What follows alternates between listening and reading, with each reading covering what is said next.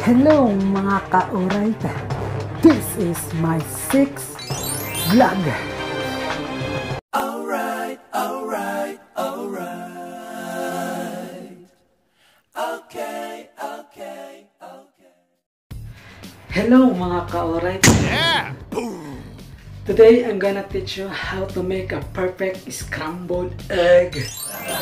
To those who don't know how to make a perfect scrambled egg, this is your chance to learn from me. okay, let's do this. Just watch and learn. this is quick and easy. First, we need egg. We need egg. Next, of course, we need oil, cooking oil or butter. But I don't butter. I will use this cooking oil. Next is I will use this salt, iodized salt or table salt. Okay.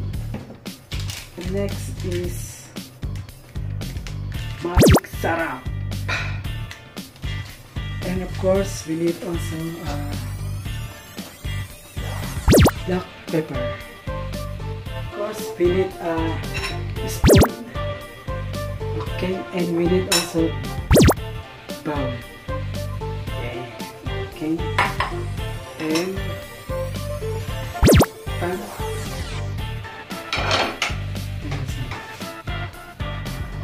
Okay, you're ready. First step, crack this egg. You need to crack this egg.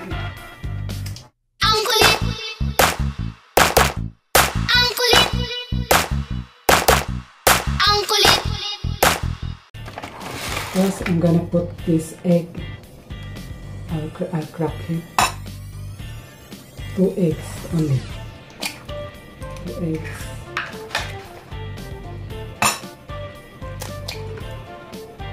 Okay. Salt. Put salt.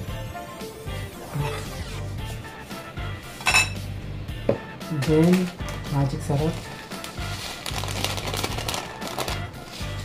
Then, black pepper. Enough.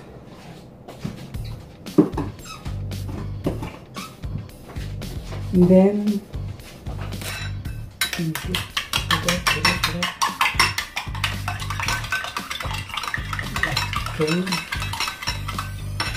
I think we need to add more salt. Salt, salt, salt, salt, salt, salt, salt. What's next? Yan mga ka-right. Nahalo na natin ang egg, ang salt, ang pepper sa isang bowl. Ngayon, kailangan na natin siyang lutuin. Ngayon, buksan na natin itong kalan natin. At nandito na yung kalan na natin lutuan. Buksan na natin. Make sure our flame is on medium only, medium, not high. Should be medium. Okay. I think it is ready. I'll put our cooking oil.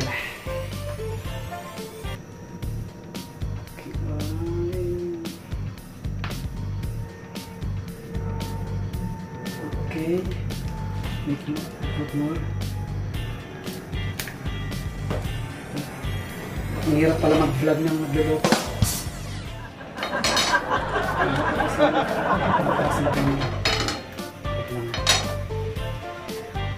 Ang niluluto ko po ay ang perfect scrambled egg. Yan. This is quick and easy. Napakasimple lang ito. Check natin kung mainit na. Ay. Medyo tahimik tayo kasi may mga may tulog na sa kwarto. Anong oras na? Alas alauna ng alas dos na ng madaling araw. Mga tulog na mga tao rito. Okay. Yan, mainit na ang ating yan, pwede na siguro yan. Ngayon, Na- Na-mix ko na rin ito. Lagyan na natin ang ating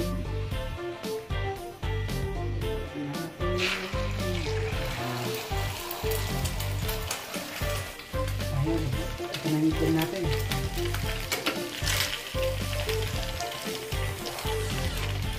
Halo-halo lang natin ng konti sa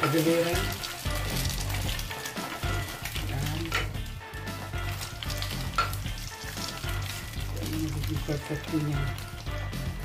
Kaya kung gusto nyo matuto, message nyo lang ako. Papuntahan nyo lang ako rito para turuan ko kayo. Napakasimple lang ito.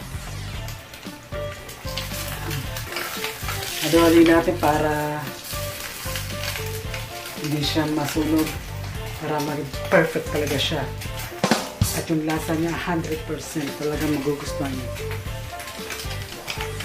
Yan. Tatagilin natin. Yan. Yan. Mukhang masarap na, di ba? Pwede na siyang mado. Pwede na siyang kainin maya-maya. Yan. Balik pinaligtad ko. Nakita niyo naman ako niluluto. Napakasimple lang, di ba? Yeah! Kung gusto nyong matuto talaga, i-message nyo lang ako kung paano talaga gawin ang aking scrambled egg. Perfect scrambled egg. Okay.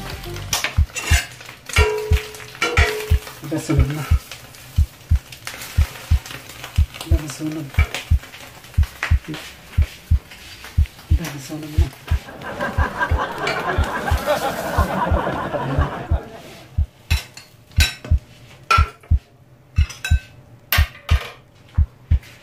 Wala, ito na siya nasunog. Pero okay lang yan. Pwede na. Basta may pagkain.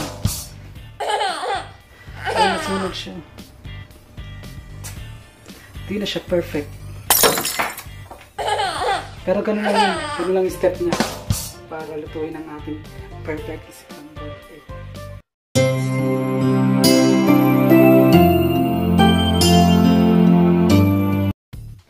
O, di ba mga ka-alright?